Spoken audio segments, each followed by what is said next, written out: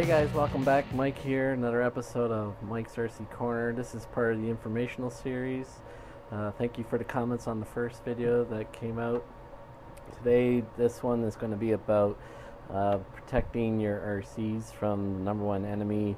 And I'm not talking about your wife who's complaining about your RC budget being too big, but I'm talking about heat and how it can, overheating will destroy your electronics. And one simple tool that's very handy, and I'm surprised not many RC hobbyists have this, is a temp gun. This is one I picked up for about 25 bucks off eBay. It's an HPI. You can go to your local hardware store now. You can find them with the infrared laser even, uh, you know, for the same price. And you can use it to temp your electronics. And I'll just show you quickly how this is done and what you want to be on the lookout for. So I just have one of my mini scale RCs here just for demonstration purposes. Uh, you want to temp the motor and you just hold it up against it. You're close by and just point it at it and press the button. And obviously this is just like the room temperature, so it's 69.2 Fahrenheit. Uh, you can also temp the ESC and it is showing in at 69.3 so uh, the idea though is when these things are running, and especially when you run these under load, such as in tall grass or sand or in the mud, uh, your wheels obviously don't run as smooth as they do on the road. And a simple example is this: is take a ball and roll it down your lawn, and the ball will stop after 20, 30 feet, depending on how hard you roll it. With the same amount of strength as you roll it down your driveway or down the road, the ball will keep rolling and rolling and rolling, and that that friction that causes the wheel, the ball to stop. If you run your RC into that, obviously that is to putting the load on your on your electronics. And the key idea is to, for brushless motors is to keep your temperature under 180 degrees Fahrenheit. Your ESC you want to keep at 140 or lower. Your batteries even get hot, especially lipos. You want to keep them under 110. Your lipos will puff.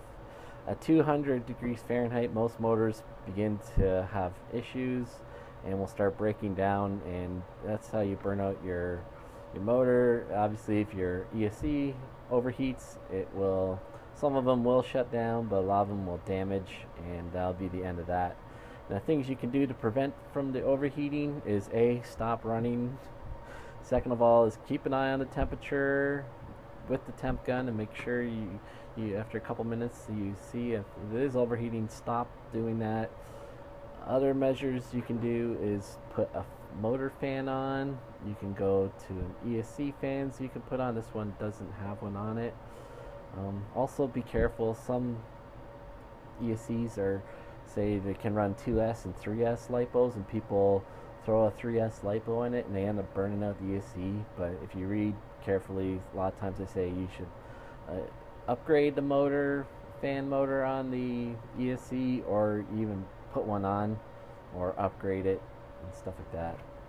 And it's also very dangerous to have puffed batteries, especially if you're lipos, and they can catch on fire. And that's uh, very dangerous, and you don't want to be storing them in your house and having them damaged. Uh, just want to say also things you can do too is a lot of the bodies are quite form fitting, especially on cars and buggies. Uh, things you can do is drill holes in the windshield and that'll let air flow through. And basically you want to keep your electronics cool. No one wants to pay for uh, replacing motors in ESC and electronics. And also it means downtime on your RC so keep an eye on those temperatures. I also say uh, for nitro uh, nitro motors you want to get into the sweet spot is around 240 Fahrenheit for your nitro motor. Anything above 260 starts becomes dangerous and you want to add more fuel to the mixture. Uh, if you are uh, under 220 you might want to consider leaning out your your fuel to air mixture and uh, to get into that optimal range but obviously if you run a nitro motor too hot you'll weld the piston to the sleeve and that's no good either so guys again informational series I like your comments uh, if you got any tips, leave them also.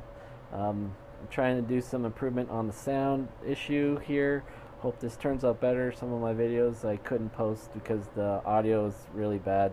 So I'm experimenting with different things. So hope this goes well. So thanks again, guys, and we'll catch you again next time. Take care.